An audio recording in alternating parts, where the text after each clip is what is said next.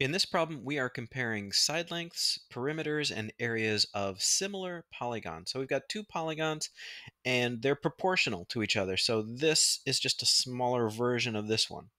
So by however much this side is smaller than this side, then all the sides are that same uh, degree smaller.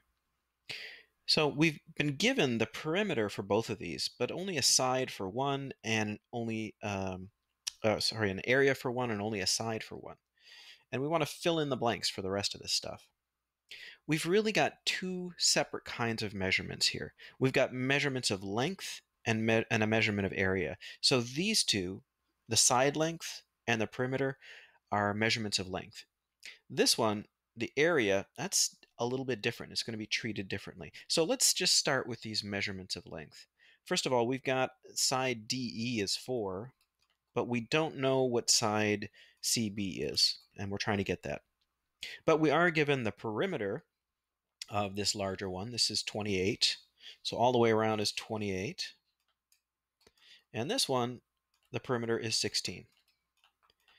We can use those two measurements to uh, create a ratio uh, to show how these two similar polygons are related and use that to set up proportions to solve uh, for the side. So let's just put the big uh, polygon on top. So that's a perimeter of 28. And the smaller polygon on the bottom, perimeter of 16. And then let's just simplify this. Let's see, both of those are divisible by 4. So 7 fourths. So this polygon is 7 fourths. All the sides are 7 fourths um, bigger than this one. So if we want to solve for this side here of the bigger polygon, we'd set up a proportion with 7 fourths on one side and x over 4 on the other side. In a proportion, you have to have uh, things in the same order. I've got big polygon, little polygon, big polygon, little polygon. If we solve this, 7 times 4 is 28. And then 4 times x is 4x and we divide by 4. You may have done this in your head already, and you get x equals 7.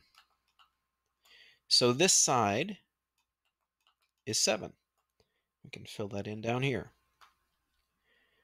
So we've solved that. The other piece we need to fill in here is the area of the smaller polygon. We've got the area of the larger polygon.